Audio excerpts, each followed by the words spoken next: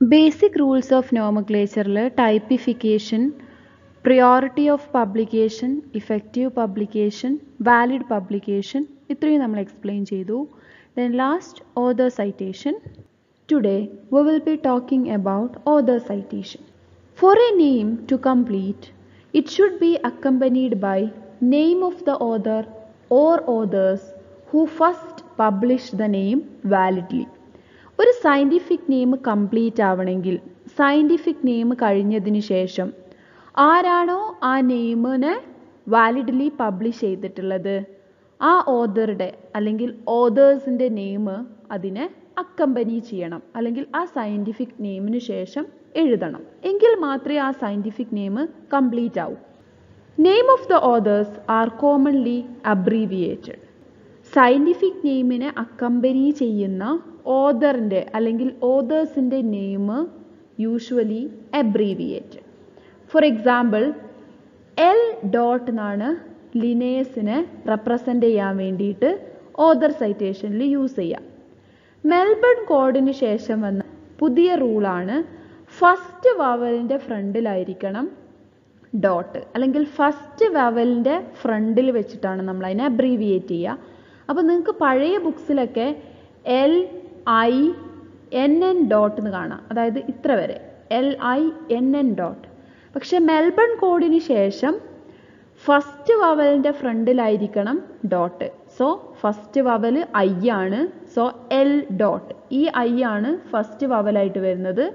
So L dot എന്നാണ് പുതിയ rule അനുസരിച്ചിട്ട് ലിനേഴ്സിനെ നമ്മൾ അബ്രീവിയേറ്റ് ചെയ്യാൻ വേണ്ടി യൂസ് ചെയ്യുക. സോ റെക്കോർഡിൽ നിങ്ങൾ എൽ ഡോട്ട് എന്ന് എഴുതണം. അപ്പോൾ ഹിബിസ്കസ് റോസ സൈനൻസിസ് ചെമ്പരത്തിക്ക് നെയിം കൊടുത്തിട്ടുള്ളത് ലിനേസ് ആണ്. സോ അത് റെപ്രസെന്റ് ചെയ്യാൻ വേണ്ടിയിട്ട് നമ്മൾ hibiscus rosa sinensis L dot എന്ന് എഴുതും. സോ ആ ഒരു ഓദറിന്റെയോ ഓദേഴ്സിന്റെയോ നെയിം സയന്റിഫിക് നെയിമിന് ശേഷം എഴുതിയാൽ മാത്രമേ ശരിക്കാ സയന്റിഫിക് നെയിം എന്താവൂ? കംപ്ലീറ്റ് ആവൂ. കുറേ റൂൾസ് ഉണ്ട് author സൈറ്റേഷന് usually authors names are abbreviated but never underlined or printed in italics ഓതേഴ്സിന്റെ name നമ്മൾ എബ്രീവിയേറ്റ് ചെയ്യും. പക്ഷേ അണ്ടർലൈൻ ചെയ്യരുത്. നമ്മൾ സയന്റിഫിക് നെയിംസ് ജീനസ് നെയിമിന് ഒരു ലൈനും സ്പീഷീസ് നെയിമിന് വേറൊരു ലൈനും ചെയ്യാറുണ്ട്. പക്ഷേ ഓതർ സൈറ്റേഷൻ ഒരിക്കലും അണ്ടർലൈൻ ചെയ്യരുത് ഓർ പ്രിന്റഡ് ഇൻ ഇറ്റാലിക്സ് ഇറ്റാലിക്സിൽ പ്രിന്റ് ചെയ്യുകയും ചെയ്യരുത്. നമ്മൾ സയന്റിഫിക് നെയിംസ് പറഞ്ഞിട്ടുള്ളത് ഒന്നെങ്കിൽ സെപ്പറേറ്റ് ആയിട്ട് അണ്ടർലൈൻ ചെയ്യണം അല്ലെങ്കിൽ ഇറ്റാലിക്സിൽ എഴുതണം എന്നാണ് പക്ഷേ ഈ രണ്ട് റൂളും ഓദർ സൈറ്റേഷന് ബാധകമല്ല. ഇറ്റാലിക്സിൽ പ്രിന്റ് ചെയ്യേ അണ്ടർലൈൻ ചെയ്യേ ചെയ്യരുത്. But it should be abbreviated then രണ്ടാമത്തത് യൂസ് ഓഫ് ഈ ഒരു മാർക്ക് ഓർ എറ്റ് ഓദർ സൈറ്റേഷനിൽ നമ്മൾ ഇങ്ങനെ ഒരു മാർക്ക് കാണാറുണ്ട്. അല്ലെങ്കിൽ എറ്റ് എന്ന് കാണാറുണ്ട്. എപ്പോഴാണ് അത് ഓദർ സൈറ്റേഷനിൽ യൂസ് ചെയ്യുക if a name of the plant is jointly published by two authors, their names should be linked by means of ഈ ഒരു ചിഹ്നം അല്ലെങ്കിൽ എറ്റ് വെച്ചിട്ട് നമ്മൾ റെപ്രസെന്റ് ചെയ്യും. അതായത് രണ്ട് ഓതേഴ്സ് ജോയിന്റ്ലി ആണ് ഒരു സയന്റിഫിക് നെയിം പബ്ലിഷ് ചെയ്തതെങ്കിൽ അവരുടെ നെയിംസ് നമ്മൾ എറ്റ് വെച്ചിട്ടോ അല്ലെങ്കിൽ ഈ ഒരു സിമ്പൽ വെച്ചിട്ടോ റെപ്രസെന്റ് ചെയ്യും. ഒരു എക്സാമ്പിൾ പറയുകയാണെങ്കിൽ ക്രോട്ടലേറിയ റെറ്റ്യൂസ എന്നുള്ള സയന്റിഫിക് നെയിം കൊടുത്തിട്ടുള്ളത് രണ്ട് സയന്റിസ്റ്റ് ആണ്. നമ്പി അതേപോലെ സിബി എന്ന് പറഞ്ഞിട്ടുള്ള രണ്ട് സയന്റിസ്റ്റ് സോ ഈ രണ്ട് ഓതേഴ്സിനെ ജോയിൻ ചെയ്യാൻ വേണ്ടിയിട്ടാണ് നമ്മൾ ഈ ഒരു ചിഹ്നം യൂസ് ചെയ്യുക അല്ലെങ്കിൽ എറ്റ് എന്ന് യൂസ് ചെയ്യുക. സോ അതാണ് use of et or the simple then മൂന്നാമത്തത് യൂസ് ഓഫ് എക്സ് എക്സ് കാണാറുണ്ട് ചിലപ്പോൾ names of two authors are linked by X when first author had proposed the name but was validly published by the second author. അതായത് ഈ ഒരു name propose ചെയ്തത് first author ആണ്. പക്ഷെ അയാൾക്ക് എന്ത് ചെയ്തില്ല? അത് വാലിഡ് ആയിട്ട് പബ്ലിഷ് ചെയ്യാൻ പറ്റിയില്ല.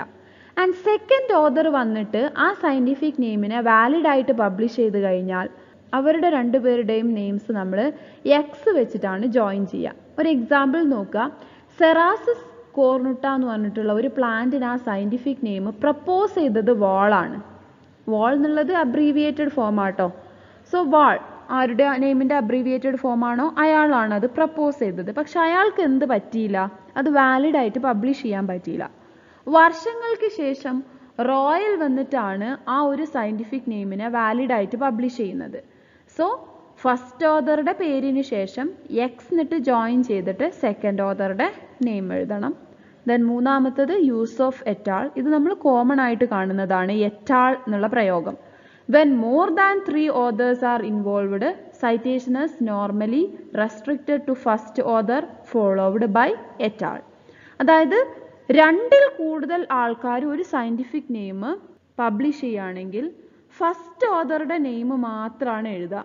ദെൻ ബാക്കി രണ്ട് മൂന്ന് നാല് ഉള്ള ആൾക്കാരെ റെപ്രസെന്റ് ചെയ്യാൻ രണ്ടിൽ കൂടുതൽ ആൾക്കാരുണ്ട് എന്ന് കാണിക്കാൻ വേണ്ടി നമ്മൾ എറ്റാൾന്ന് യൂസ് ചെയ്യും. ഒരു എക്സാമ്പിൾ പറയുകയാണെങ്കിൽ ഇപ്പം ക്രോട്ടലേറിയ റെറ്റ്യൂസ എന്നുള്ള പ്ലാന്റ് നാലാൾ കൂടിയാണ് പബ്ലിഷ് ചെയ്തിരുന്നത് എങ്കിൽ നമ്മൾ അതിനെ റെപ്രസെന്റ് ചെയ്യുക. ക്രോട്ടലേറിയ റെറ്റ്യൂസ നമ്പി എറ്റാൾ എന്നാണ്.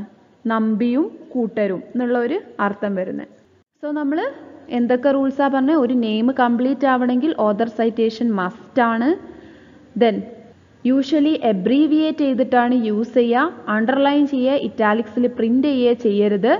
ദെൻ എപ്പോഴാണ് നമ്മൾ യൂസ് ചെയ്യുക രണ്ട് ഓതേഴ്സ് ജോയിന്റ്ലി ഒരു നെയിം പബ്ലിഷ് ചെയ്താൽ നമ്മൾ എറ്റോ അല്ലെങ്കിൽ ആ ഒരു സിമ്പൽ വെച്ചോ റെപ്രസെന്റ് ചെയ്യും. എക്സ് യൂസ് ചെയ്യുക first first author name propose ചെയ്തു but was validly published by the second author ആണെങ്കിൽ അവരുടെ രണ്ടുപേരുടെയും നെയിംസ് നമ്മൾ എക്സ് വെച്ചിട്ട് ജോയിൻ ചെയ്യും. ദെൻ മൂന്നിൽ കൂടുതൽ ഓതേഴ്സ് ഒരു നെയിം പബ്ലിഷ് ചെയ്താൽ ഫസ്റ്റ് ഓതറുടെ നെയിം എഴുതിയിട്ട് എറ്റാൾന്ന് വെച്ചിട്ടാണ് റെപ്രസെന്റ് ചെയ്യുക if a taxon is of garden origin it should be ascribed to hort ഒരു ഗാർഡൻ ഒറിജിനുള്ള വല്ല ഹൈബ്രിഡ്സോ അങ്ങനത്തെ ഏതെങ്കിലും പ്ലാന്റ്സ് ആണെങ്കിൽ അവരുടെ പേരിന് ശേഷം അവരുടെ സയന്റിഫിക് നെയിമിന് ശേഷം നമ്മൾ ഇത് ഗാർഡൻ ഒറിജിൻ ആണ് എന്ന് കാണിക്കാൻ വേണ്ടി ഹോർട്ടിക്കൾച്ചറലി ഇമ്പോർട്ടന്റ് ആയിട്ടുള്ള പ്ലാന്റ് ആണെന്ന് കാണിക്കാൻ വേണ്ടി ഹോട്ട് ഡോട്ട് എന്ന് വെച്ചിട്ട് റെപ്രസെന്റ് ചെയ്യും.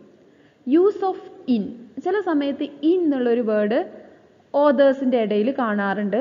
Names of authors are linked using in when first author published a new species or a name in publication of another author അതായത് ഫസ്റ്റ് ഓതർ അയാളുടെ നെയിം പബ്ലിഷ് ചെയ്യുന്നത് സെക്കൻഡ് ഓതറിന്റെ പബ്ലിക്കേഷനിലാണെങ്കിൽ അവരുടെ നെയിംസ് ഇൻ വെച്ചിട്ടാണ് ജോയിൻ ചെയ്യുക.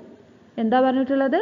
First author name publish ചെയ്യുന്നത് second ഓദറിന്റെ പബ്ലിക്കേഷനിലാണെങ്കിൽ ഒരു എക്സാമ്പിൾ നോക്കുക. കാരക്സ് കാശ്മീരൻസിസ് ഈ നെയിം പ്രപ്പോസ് ചെയ്തത് ക്ലാർക്കാണ് ആൻഡ് ക്ലാർക്ക് ഇത് പബ്ലിഷ് ചെയ്യുന്നത് ഹുക്കറിന്റെ ഫ്ലോറ ഓഫ് ബ്രിട്ടീഷ് ഇന്ത്യയിലാണ് സോ കാരക്സ് കാശ്മീരൻസിസ് ക്ലാർക്കാണ് പബ്ലിഷ് ചെയ്യുന്നത് പക്ഷെ ആരുടെ ബുക്കിലാണ്? ഹുക്കറിന്റെ ഫ്ലോറ ഓഫ് ബ്രിട്ടീഷ് ഇന്ത്യയിലാണ് സോ അത് റെപ്രസെന്റ് ചെയ്യാൻ വേണ്ടി Clarke in Hook dot F dot ഹുക്കറിന്റെ ഫ്ലോറയിൽ എന്നുള്ള മീൻ വരുന്ന ഹുക്ക് ഡോട്ട് എഫ് ഡോട്ട് ഹുക്കറിന്റെ ഫ്ലോറ ഓഫ് ബ്രിട്ടീഷ് ഇന്ത്യയിലാണ് പബ്ലിഷ് ചെയ്തത് എന്ന് കാണിക്കാൻ വേണ്ടിയിട്ടാണ് രണ്ട് പേരുടെയും നെയിംസ് ഇന്ന് വെച്ച് ജോയിൻ ചെയ്തത്. ലാസ്റ്റ് റൂളാണ് യൂസ് ഓഫ് പാരാന്തസിസ് പാരാന്തസിസ് എന്ന് പറഞ്ഞത് ഇങ്ങനെ ബ്രാക്കറ്റ് ഇടുന്നതിനെയാണ് പാരാന്തസിസ് എന്ന് പറയുക നമ്മൾ ഓതർ സൈറ്റേഷനിൽ യൂഷ്വലി കാണാറുണ്ട് ഇങ്ങനൊരു മാർക്ക് അപ്പോൾ എന്താ parenthesis whenever the name of a taxon is changed by transfer from one genus to another or by upgrading or downgrading the level of a taxon, the original epithet should be retained. The name of the taxon providing the epithet is termed basionym.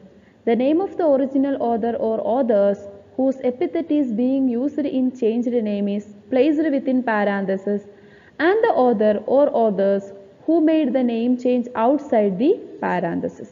അപ്പോൾ ഈ ഒരു sentence വായിച്ചിട്ട് ഇപ്പോൾ നമുക്കൊന്നും മനസ്സിലായിട്ടുണ്ടാവില്ല അപ്പോൾ നമ്മൾ example വെച്ചിട്ട് explain ചെയ്യാം അതായത് ഒരാൾ ഒരു ജീനസിലുണ്ടായിരുന്ന സ്പീഷീസിനെ വേറൊരു ജീനസിലേക്ക് മാറ്റുകയാണ് അല്ലെങ്കിൽ ഒരു സ്പീഷീസിന്റെ ലെവൽ ചേഞ്ച് ചെയ്തിട്ട് അതിനൊരു ജീനസ് ആയിട്ട് കൺവേർട്ട് ചെയ്യാണ്. അതാണ് പറഞ്ഞത്. Whenever the name of a taxon is changed by transfer from one genus to another നമ്മൾ ഒരു ജീനസ് നിന്ന് വേറൊരു ജീനസിലേക്ക് ട്രാൻസ്ഫർ ചെയ്യാണ് ഒരു സ്പീഷീസിനെ or by upgrading or downgrading the level of a taxon ഒരു ജീനസിനെ സ്പീഷീസ് ആയിട്ട് കൺവേർട്ട് ചെയ്യുക അല്ലെങ്കിൽ ഒരു സ്പീഷീസിനെ ജീനസ് ആയിട്ട് കൺവേർട്ട് ചെയ്യുക. ഇങ്ങനെയൊക്കെ ചെയ്യുന്ന സമയത്ത് original epithet should be retained അതിന്റെ ഒറിജിനൽ എപ്പിത്തറ്റ് എന്ന് പറഞ്ഞു കഴിഞ്ഞാൽ അതിന്റെ സ്പീഷീസ് നെയിം റീറ്റെയിൻ ചെയ്യണം. ചേഞ്ച് ചെയ്യുമ്പോൾ ഒരു റൂളാണ് നമ്മൾ എന്തെങ്കിലും ചേഞ്ചസ് വരുത്തുന്നുണ്ടെങ്കിൽ അതിന്റെ സ്പീഷീസ് നെയിം അവിടെ റീറ്റെയിൻ ചെയ്യണം. ഇനി എക്സാമ്പിളിലേക്ക് നോക്കുക.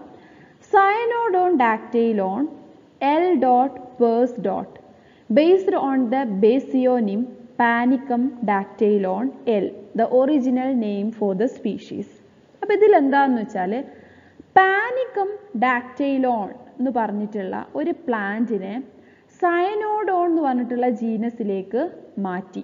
എന്നിട്ട് നെയിം എന്താ കൊടുത്തത് സയനോഡോൺ ഡാക്റ്റൈലോൺ. സോ പാനിക്കം ഡാക്റ്റൈലോണിലെ ഈ ഡാക്റ്റൈലോൺ അവിടെ റീറ്റെയിൻ ചെയ്തിട്ട് സെയിം സ്പീഷീസ് നെയിമാണ് അതിനെ ചേഞ്ച് ചെയ്തപ്പോഴും യൂസ് ചെയ്തിട്ടുള്ളത്. അതാണ് നമ്മൾ പറഞ്ഞത് the original epithet should be retained നമ്മൾ എന്ത് ചേഞ്ചസ് വരുത്തുകയാണെങ്കിലും അതിന്റെ സ്പെസിഫിക് എപ്പിത്തറ്റ് എന്ത് ചെയ്യണം? റീറ്റെയിൻ ചെയ്യണം. അപ്പം പാനിക്കം ഡാക്റ്റൈലോണിലെ ഡാക്റ്റൈലോൺ റീറ്റെയിൻ ചെയ്തതുകൊണ്ടാണ് അതിനെ സൈനോഡോൺ എന്ന് പറഞ്ഞിട്ടുള്ള ജീനസിലേക്ക് മാറ്റിയപ്പോഴും നമ്മൾ സ്പീഷീസ് നെയിം ഡാക്റ്റൈലോൺ എന്ന് യൂസ് ചെയ്തത്. The name of the taxon providing the epithet is termed basionym അപ്പോൾ ഇതിന്റെ ബേസിയോമിനിയം എന്താ? ഡാക്റ്റൈലോൺ എന്നുള്ള നെയിം പ്രൊവൈഡ് ചെയ്തിട്ടുള്ള അതാണ് ഇതിന്റെ ബേസിയോനിം പാനിക്കം ഡാക്റ്റൈലോൺ എന്നാണ് ഡാക്റ്റൈലോൺ കിട്ടിയത്. So name of the taxon providing the epithet is termed basionym so panicum dactylon ആണ് ബേസിയോൻ അത് അതിൽ നിന്നാണ് നമ്മൾ ഡാക്റ്റൈലോൺ എന്നുള്ള സ്പെസിഫിക് എപ്പിത്തറ്റ് എടുത്തിട്ട് റീറ്റെയിൻ ചെയ്തത്. അപ്പോൾ അതുവരെ ക്ലിയർ ആണല്ലോ? Whenever the name of a taxon is changed by transfer from one genus to another or by upgrading or downgrading the level of a taxon, original epithet should be retained.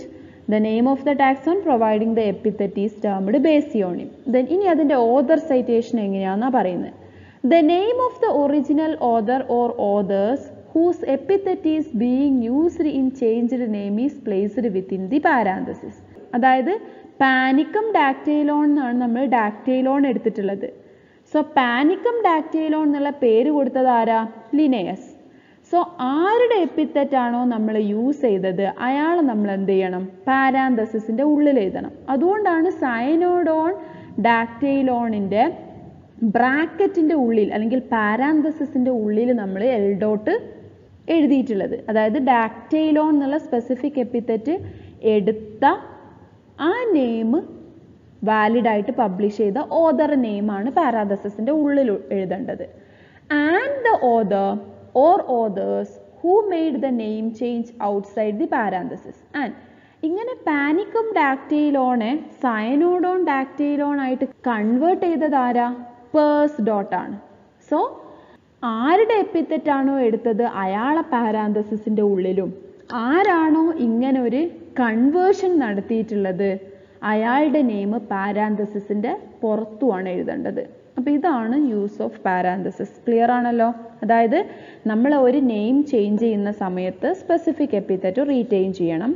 Then specific epithet retain ചെയ്യുന്ന ടാക്സനെയാണ് നമ്മൾ ബേസിയോണിം എന്ന് പറയാം.